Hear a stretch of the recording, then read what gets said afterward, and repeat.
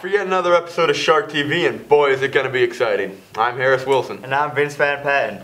As you probably know, Thanksgiving is coming up, my second favorite holiday behind, obviously, Columbus Day. I remember my first Thanksgiving. I was 13 and fresh out of the Air Force on an honorable discharge.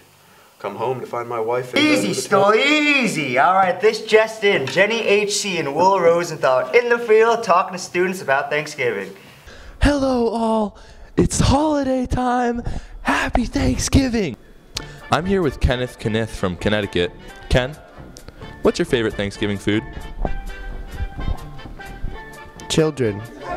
Oh, I make this like biscuit thing. It's kind of horrible. Stuffing. Got, got a stew. It's a, a potato stew. Like I um I hollow out a biscuit. Pumpkin pie.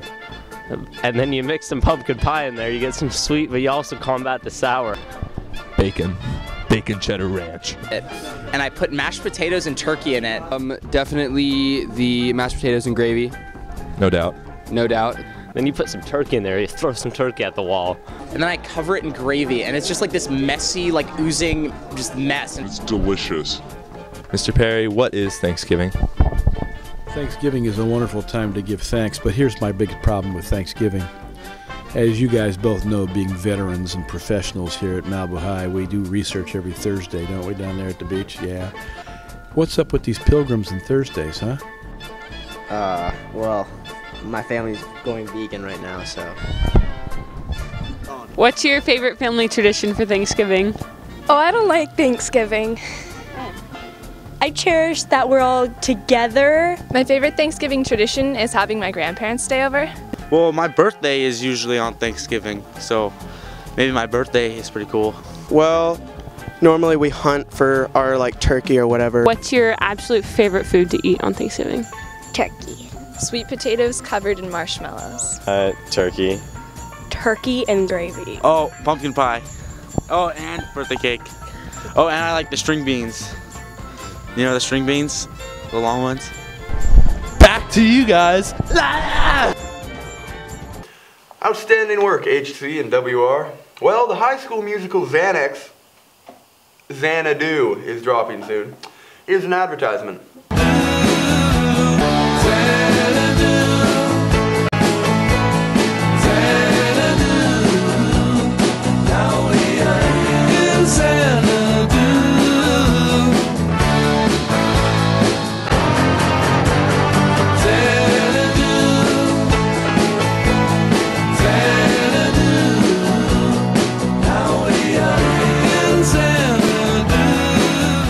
Uh, oh, that brings me back to my skating years until my accident in 1999 changed my life forever. Come back, Vinny. And strap on your floaties, Malibu, because it's time to dive into this week's splash of KP with KP. Oh, hello. Didn't see you there. My name's Kip Rains. Today, I'm going to be talking to you about bomb safety. What you do when those big boys go off. Probably wondering why I'm in a cabinet right now and why I'm not out in the nature with with the rains. I was devastated, devastated by the, the storm, Hurricane Cindy, and she he, she hit me and I had to go in this cabinet.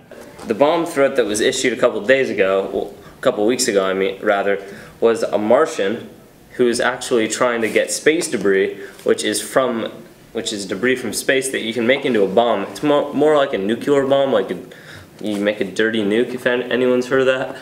But um, basically, this Martian had a lot of a lot of boys in high places, basically, and he wanted to make wanted to make this school his his first target. We cannot keep calling these bomb drills earthquake drills or fire drills. It's very different. A bomb is a contained blast, while an earthquake is a shock wave that goes out along the canyons and, and the roads and everything for the rest of your life. oh, we gotta. We gotta on the line. On line gotta- one. Yes. Oh. Oh no. Oh no. Whoa! Watch out! This is some breaking news. Oh! Gulf spill 2.0. It's happening. It's coming to your town. You better watch out. There's a bunch of animals. They got hurt. There's about 10 to 15 animals we need to rescue right now. They're all swimming. They just can't get out. This oil's thick. It's a thick oil. You try to get out of this oil, you're gonna be sucked back in.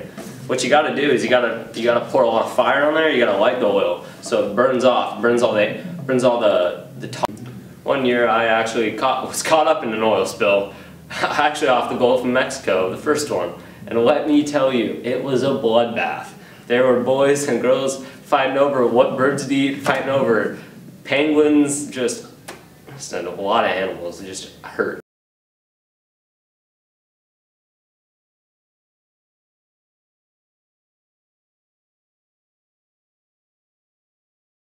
From all of us at KP Rains, I just want to wish you a wonderful day and uh, don't let the hurricane get you down. Don't let anything get you down. Just stay chipper. Don't get too cold. You might get hypothermia. That's what my father got back in the war.